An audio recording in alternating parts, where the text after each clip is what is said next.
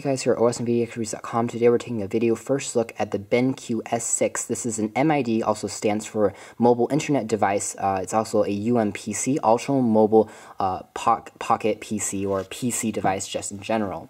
Now you might be confused and you would be uh, forgiven for thinking this is probably like a PDA-like device, but actually no. UMPCs are infamous for actually being a full, fully functioning and fully fledged uh, PC, Mac PC that actually fits in the shell of something similar to the footprint of a PDA device.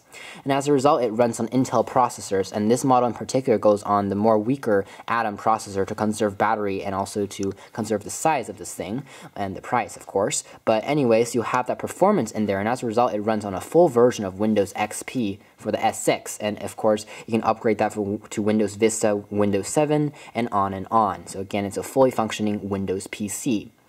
Um, UMPCs were a lot more popular, I, I, guess, around four years ago when Sony was still in the game and creating those UMPCs that they did the UX series. But unfortunately, those were really expensive. And after Circuit City kind of uh, went into bankruptcy a few years back, uh, Sony also kind of stopped creating their UMPC lineup and dropped out of that game. And as a result, you know, of course, smartphones today kind of double up and do the same things. But of course, our smartphones aren't as popular as it or as aren't as um, functional or as powerful as a fully fledged PC. Um, so if you're interested in something like that, you know, interested in the concept of taking a, a, a computer and your and put it in your pocket, then perhaps the BenQ S6 is a good option to consider because it's fairly modern, fairly relevant, and at the same time, it's fairly inexpensive. Now, when this thing first came out, it was first released in Italy, and then it went to the United States and all around the world and in Asia and this was released at a price of $499. But thanks to the fact that people weren't so keen on this company, BenQ, because it wasn't, uh, you know, as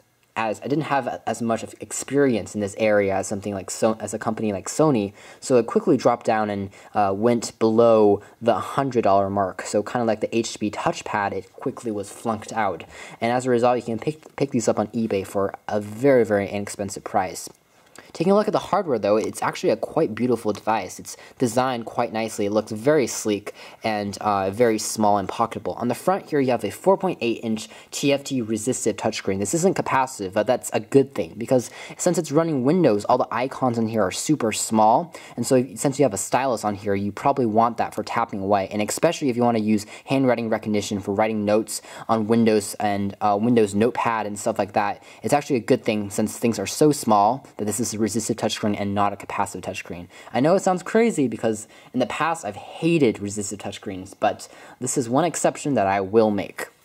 Now, on the left-hand side of the device, you have access to a few navigational options. This is actually a zoom and a scroll bar. It doubles as two functions. When I'm in a web browser, uh, moving this a capacitive button up and down actually makes me uh, uh, turn the page up and down. So if I'm in the New York Times, it has a very long list style page. When I scroll this down, the web page is also going to scroll down. It's pretty intuitive. However, when I'm in a photo album and I'm looking at a picture, when I do this, it's actually going to zoom in. When I do this, it's actually going to zoom out of the pictures. And since, so since this device doesn't have multi-touch, it just uses this little zoom bar to double as that function. It also backlights blue under darker conditions, so it's quite cool to look at as well. Now below the zoom bar, you have access to a home key, which actually takes us to the traditional home, and also there's also a keyboard key, which brings up the Windows uh, XP standard keyboard. A thing to note here is that BenQ actually installed two uh, styles of um, computer operating systems on this thing. Some models of this product actually come with Windows XP preloaded, and some models actually come with a Linux thing uh, that's fused with Ubuntu. And uh, it's interesting because the XP version is just so much more powerful, but it drains the battery a lot quicker, while the Linux version actually lasts for around 10 hours of battery life, but the performance just isn't as good as obviously an Intel powered PC. So you can actually do your own homework, and if you do that, you can connect it to another uh, home PC and actually install the stuff yourself. Um, either way, it, it, actually works pretty cool as a uh, mobile internet device. Anyways, there is a microphone on the bottom here. You can see that the piano black parts of this thing are an absolute fingerprint magnet, so you have to bring a cloth with you. But the uh, non-glossy parts of this thing, which are the gray portions on top and bottom, actually look pretty nicely, and they won't attract any fingerprints. And the, the grills uh, are masterfully placed on the right-hand side of the device to make it kind of look like a carbon finish, even though it's just, you know, dots on here, but it's a nice finish. There's a, a switch kind of to turn this thing on, and um, wireless managers and this stuff uh, to press that key to activate. It also has a blue ring around it when the device is turned on. There's your Intel Atom inside little logo, and, and there's a second speaker on here, so it's stereo speakers. On the top, you'll see this is actually uh, it's actually uh, something uh, you'll see something called Alice Mobile, and we're not really sure why this company's name is on here. Uh, I have a hypothesis, and that's probably this is uh, one of the distributors of this device, and probably one of the carriers, perhaps in some countries, which have 3G SIM cards and stuff like that. Because this device doesn't just connect over Wi-Fi; it also has a 3G GSM quad band connection on the back to connect to the internet by using a data service. Anyways, on the right hand side surface, we have access to a full 3.5 millimeter headphone jack for listening to music and um, audio. So if I'm in the Windows Media Player or I'm watching YouTube videos using Internet Explorer, I can listen to music using that without using the dual speakers.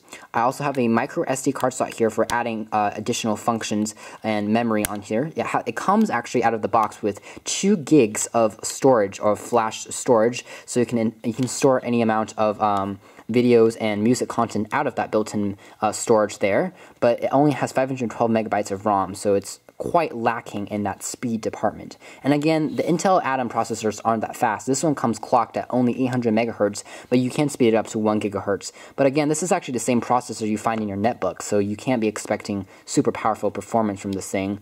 Um, but again, it should be more powerful than some tablets out there, uh, considering it's, it's an Intel uh, Cortex and architecture on here and not something by Snapdragon for mobile products.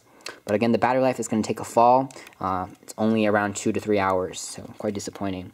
Right now, I can't seem to actually take the micro SD card slot out. It's a very rigid plastic. It's not rubber at all, but there you go. I have it open. You can put in any cards on there that you want. You can also see a, a, a, row of different icons on the side that correspond to the wireless connection to your uh, battery information and if it's charging or not. And these are all indicator LEDs that will light on and off accordingly once uh, those functions are accessed. On the bottom of the device, you have access to uh, two uh, little ports for holding this thing into place if you want to use it for as a GPS that comes with its own cradle that you can purchase separately from BenQ. Quite, a, quite interesting. There's also a lanyard hole for including lanyards and keychains. And on the left-hand side device, you have access to a USB port a mini USB for connecting to other accessories like keyboards and the such. There's also an AV port for charging.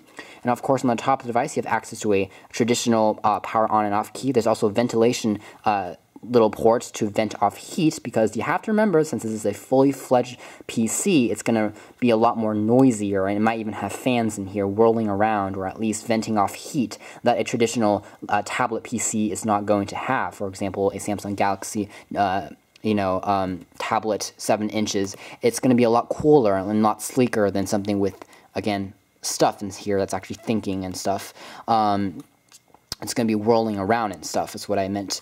And anyways, on the back you'll have access to a uh, another vent hole, and on the side you have access to a, your stylus. It's a plastic stylus. It's actually not very nicely designed in my opinion, but it has this little part where you can actually put your thumb here. So it's going to rest your thumb here. Um, but again, the construction is made entirely out of bendable plastic, which is kind of cheap, um, even though they have this nice grip design.